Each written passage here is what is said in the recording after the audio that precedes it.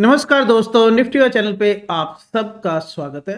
तो फ्रेंड्स, सबसे पहले कॉन्ग्रेचुलेशंस जैसी हमारी स्ट्रेटजी स्ट्रेटजी थी, बिल्कुल वैसे ही हुआ। मैंने जैसे बताया था कि सत्रह तीन सौ पचास के नीचे अगर निफ्टी जाए तो वहाँ से हमने पुट लेनी है।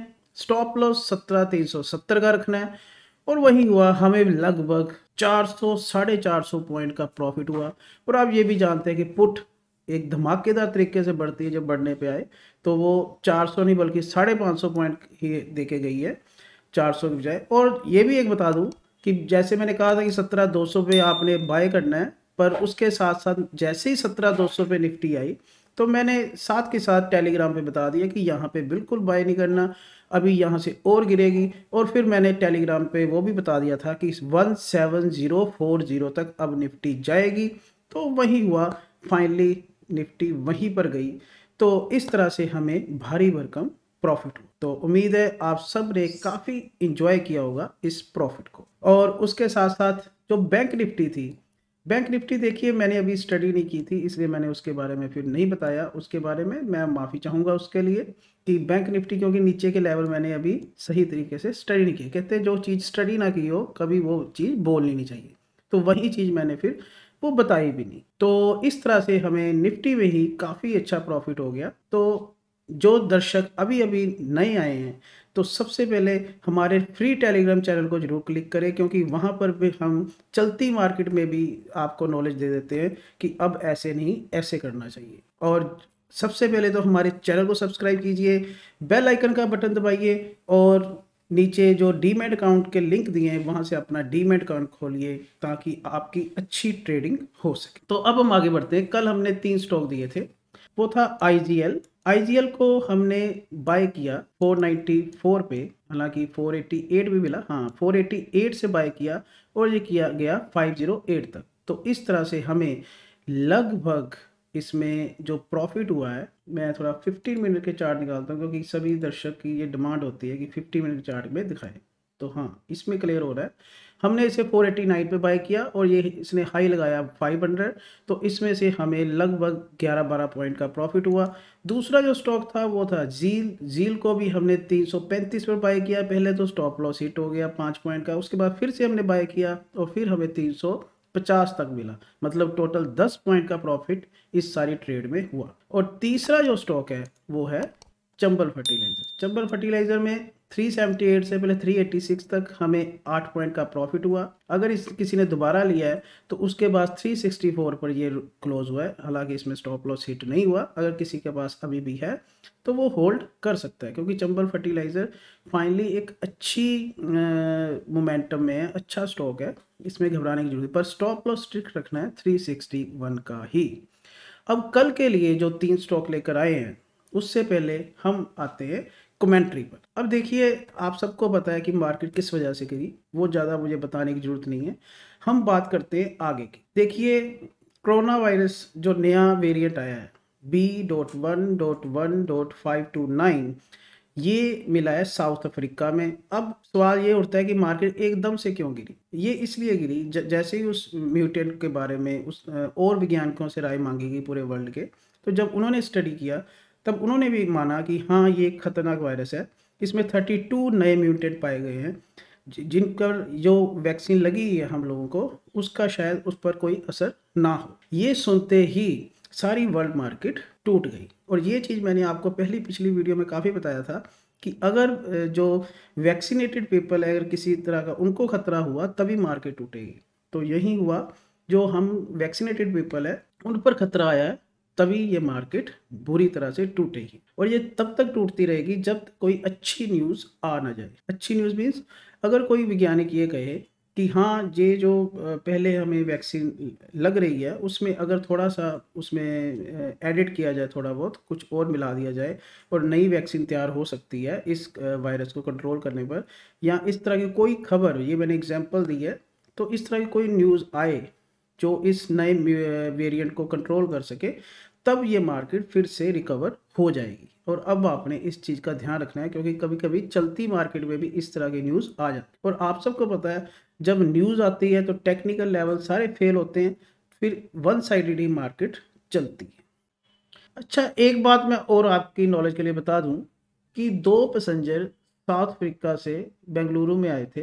उनमें भी डेल्टा वेरिएंट पाया गया है, जो स्टेट हेड हैं, टीके अनिल कुमार जी, उन्होंने बताया है कि अभी हम उन जो दो, में जो वेरिएंट पाया गया है, वो हम सर्च आउट कर रहे हैं, स्टडी कर रहे हैं कि वो डेल्टा ही है या ओमिक्रॉन। ओमिक्रॉन क्या है? ओमिक्रॉन इसको नाम दिया गया है, जो नया B dot one dot one dot five two nine जो कोरोना नया पाया गया है, साउथ अफ्रीका में, उसको नया नाम दिया है ओमिक्रॉन। तो वो ओमिक्रॉन है या डेल्टा तो इस चीज़ में भी फाइंड आउट हो रहा है। तो इस न्यूज़ पर भी आपने नज़र रखनी है कि अगर वहाँ से कोई खबर आई बेंगलुरु से कि नहीं, ये डेल्टा नहीं, ओमिक्रॉन था तो फिर मार्केट हमारी और भी गिर सकती है। तो इन चीज़ों का आपने ध्यान रखना है थोड़ा सा तो अब हम आगे बढ़ते हैं कि अब हमें करना क्या है कल के लिए मतलब मंडे के लिए।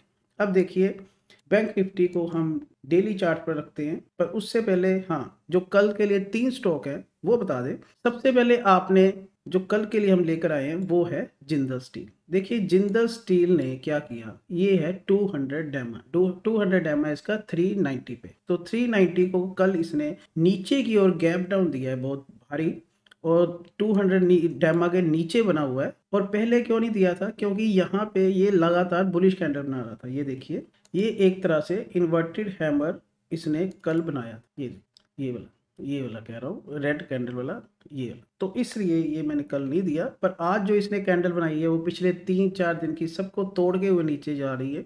तो आपने क्या करना है 364 तक कोई भी उछाल आए, आपने सेल ही करना है।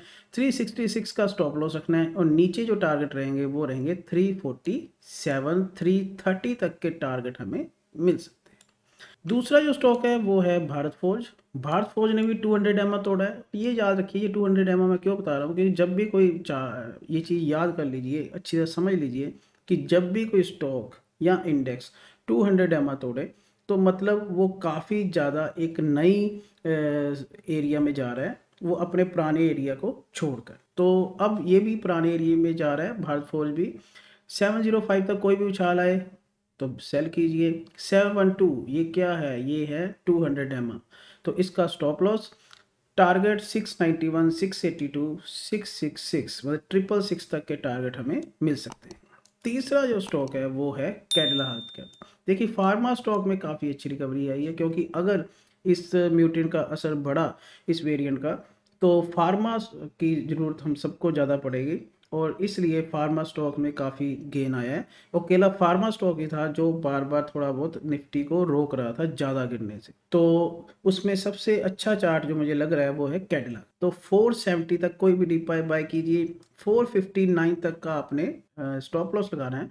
और ऊपर टारगेट 489, 496, 510 और 521 तक के मिल सकते हैं। ये 521 क्या है? ये है 50 डेमा। तो 50 डेमा तक ये उछाल दे सकता है हमें कैडला हेल्थ केयर अब हम आते हैं बैंक निफ्टी पर। बैंक निफ्टी के डेली चार्ट में देखिए, इसने काफ़ी बड़ा ब्रेक डाउन दिया है। तो ये जो ब्रेक डाउन है, अब आपने क्या करना है, छत्तीस एक सौ तक कोई भी उछाल आए तो आपने पुट बाय करनी है छत्तीस एक सौ की। स्टॉप लॉस छत्तीस तीन सौ का रखना है, दो सौ पॉइंट का, और टारगेट जो हमारा रहेगा फाइनल वो रहेगा पैंतीस सात सौ मतलब three five seven double zero three five seven double zero क्या है? इसका टू हंड्रेड एमा और अगर इसने गलती से ये 200 हंड्रेड एम भी तोड़ दिया तो एकदम से पुट बाय नहीं करनी। थोड़ा सा ध्यान रखना है कि जैसे पैंतीस छः सौ टूटे, तब आपने पैंतीस छः सौ की पुट बाय करनी है। वो भी स्टॉप लॉस फिर ये 200 हंड्रेड एम रहेगा पैंतीस सात सौ का। और फिर आपको नीचे के टारगेट पैंतीस पाँच सौ, पैंतीस तीन सौ three five one six eight three five zero seven one और three four nine two four से लेकर नीचे तक हमें चौंतीस तीन सौ तक के टारगेट हमें मिल सकते हैं।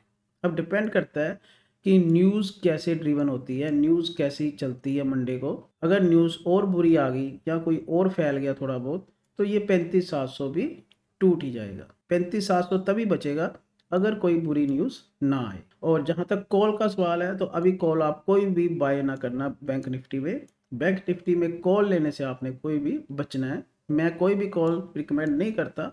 अगर कोई रिकमेंड करूँगा तो आपको सिर्फ़ एक ही कॉल बेस्ट रहेगी, वो भी रहेगी, जो आपका हंड्रेड एम है, वो क्रॉस हो जाए और उसके ऊपर भी ये निकल जाए और सैंतीस पाँच सौ दस के ऊपर निकल जाए, तब जाकर हमें कॉल लेनी चाहिए। वरना ऐसी बैंक निफ्टी में कोई भी कॉल मेरे हिसाब से अभी नहीं बंद। तो अब हम आते हैं निफ्टी की ओर। निफ्टी है 20.80 इंडिया विक्स काफ़ी ज़्यादा बढ़ चुका है। वोल्टेलिटी काफ़ी हाई हो गई है मतलब मार्केट के और गिरने के चांस बड़े रहेंगे जब तक वोल्टेलिटी हाई हो। और फॉरेन इन्वेस्टर का डाटा देखेंगे तो ये भी क्लियर कट हमें बता रहा है कि मार्केट और गिरने के चांस है क्योंकि इंडेक्स उन्होंने भारी मात्रा में बेचा है। उन्होंने कोई साढ़े तीन बजे के आसपास इंडेक्स रिकवर नहीं किया। उन्होंने और शॉर्ट कर दिया minus three thousand two hundred seventy crore का इंडेक्स उन्होंने बेच दिया है। मतलब वो बुरी तरह बेरिश है। एफ़ और अगर कहीं बुलिश हैं तो वो स्टॉक फ्यूचर में। ये ज़रूर इन्होंने फार्मा सेक्टर का कोई स्टॉक खरीदे होंगे, तभी ये पाँच सौ उनतीस करोड़ का आंकड़ा दिखाई दे तो मतलब एफ़ भी पूरी तरह से बेरिश है। तो पुट को रेशियो 1.31 1.11 सही है, कोई बुराई नहीं है, इसमें मार्केट और गिरने के चांस रहेंगे। और अगर देखें ऑप्शन चेन देखिए ऑप्शन चेन अब इतनी इंपॉर्टेंट नहीं रहेगी। क्यों नहीं रहेगी? मैं आपको बताता हूँ। इस टाइम जब वीडियो रिकॉर्ड हो रही है तो सिंगापुर निफ्टी सोलह आठ सौ नब्बे पर पहुँच चुकी है। मतलब ये वाला जो सत्रह हज़ार का जो पुट राइटर है, ये ऑलरेडी ट्रैप्ड हो चुका है। तो जब न्यूज़ ड्राइव करती है तो ऑप्शन चेन भी इतनी इंपॉर्टेंट नहीं होती। आपने देखा होगा दिन भर कि पहले सत्रह दो सौ पे अच्छा पुट राइटर था, वो खत वो निकला सत्रह एक सौ बुट राइटर था, वो भी निकला। फिर सत्रह हज़ार पे बुट राइटर है। अब इस टाइम सत्रह हज़ार पे काफ़ी अच्छा बुट राइटर है। मार्केट ये मान के चल रही है कि सत्रह हज़ार बचेगा, पर और ऊपर जो रेजिस्टेंस उसे मान रही है मार्केट वो मान रही है सत्रह तीन सौ। भाई सत्रह तीन सौ एक इम्पोर्टेंट रेजिस्टेंस है, उसके हिसाब से मार्केट हिसाब से। अब मैं बताता हूँ कि आपने निफ्टी में क्या करना है। देखिए, निफ्टी जो है, वो 100 एम तोड़ चुकी है। तो 100 एम टूटने के बाद अब वेट होगी 200 एम की। 200 एम एस वन पर। वो जो कि काफ़ी दूर है अभी नियर टर्म जो टारगेट बनता है, वो कैसे बनता है, वो भी मैं आपको बताता हूँ। ये देखिए, ये हेड एंड शोल्डर पैटर्न ये हमें क्या दिखा रहा है कि अगर हम यहाँ से एक ट्रेंड लाइन खींचे तो ये ट्रेंड लाइन कहाँ जाकर रुकती है? वो रुकती है सोलह सात सौ साठ पर, one six seven six zero पर। तो one six seven six zero हमारा पहला टारगेट रहना चाहिए निफ्टी में पुट में प्रॉफिट बुक करने का। जिन्होंने पुट होल्ड की है तो वो ये स्टेप वाइज अपना प्रॉफिट बुक करते रहें। पहला जो टारगेट रहेगा वो रहेगा सोलह नौ सौ पंद्रह, फिर रहेगा सोलह सात सौ साठ। सोलह सात सौ साठ अगर टूटा तो फिर हमें टू हंड्रेड एम मिलेगा, वो मिलेगा one six zero eight three पर। और आपको याद होगा कि पंद्रह नौ सौ सोलह जो मैंने कहा था एक बार, आज से कई महीने पहले, कि जब ये गेट खुले तो मार्केट बहुत ऊपर जाएगी, रोशनी ही रोशनी है। तो वहाँ तक गई, कहाँ तक गई? अठारह छः सौ तक। तो अब वापस अगर ये गिरती भी गई, और भी गिर गई तो ज़्यादा से ज़्यादा ये पंद्रह नौ सौ सोलह तक ही गिरेगी। उसके नीचे कोई चांस नहीं है कि ये ज़्यादा मार्केट टूट जाए। ये मैंने वैसे लॉन्ग टर्म में बताया ये एक दिन में ना मान लेना कि ज़्यादा से ज़्यादा पंद्रह नौ सौ सोलह हज़ार तक की मार्केट गिर सकती है। जैसे पहले पचहत्तर सौ तक ही मार्केट गिर सकती थी, सेवन फाइव डबल ज़ीरो तक तो वहाँ तक ही गई थी, वहाँ से रिकवर हो गई थी। हालाँकि कोई न्यूज़ नहीं आई थी। तो इस बात का आपने ध्यान रखना है। कि मार्केट क्या करती है, जब टेक्निकली जब किसी न्यूज़ की वजह से गिरती है तो रिकवरी टेक्निकल टर्म्स की वजह से आती है। तो ये याद रखना कि टेक्निकल टर्म्स से आपने ट्रैप नहीं होना। तो तभी मैंने बताया सोलह सात सौ साठ। सोलह सात सौ साठ के बाद अगर ये सोलह सात सौ साठ भी टूटा तो हमें मिलेगा सोलह छः सौ, सोलह पाँच सौ, सोलह तीन सौ पचहत्तर। One six two five two और one six zero eight three तक, ज़्यादा से ज़्यादा। One six zero eight three क्या है, वो है टू हंड्रेड डेम। तो आपने स्टेप वाइज प्रॉफिट बुक करने हैं और नियर टर्म जो पिछले लेवल है, उनको आपने स्टॉप लॉस बनाते चलना है। जैसे सोलह नौ सौ पंद्रह टूटे तो फिर आपने सोलह नौ सौ की पुट बाय करनी है स्टॉप लॉस रहेगा आपका one six nine eight six तो इन चीज़ों का आपने ध्यान रखना है कि पुरान, पिछला जो लेवल होगा उसे स्टॉप लॉस बना देना है कि अगले लेवल के लिए आपने पुट बाय करते चले जाए और कॉल का कोई कहीं सवाल नहीं उठता। कॉल तो देखिए तभी बनेगी अगर मार्केट रिवर्स होकर वापस सोलह, सत्रह, तीन सौ सत्तर के ऊपर चले जाए, जो कि अभी इम्पॉसिबल नज़र आ रहा है। तो उम्मीद है आपको हमारी वीडियो पसंद आई होगी। अगर आपको हमारी वीडियो पसंद आई है तो ज़रूर लाइक कीजिए, हमारे चैनल को सब्सक्राइब कीजिए और ज़्यादा से ज़्यादा वीडियो को शेयर कीजिए। थैंक यू धन्यवाद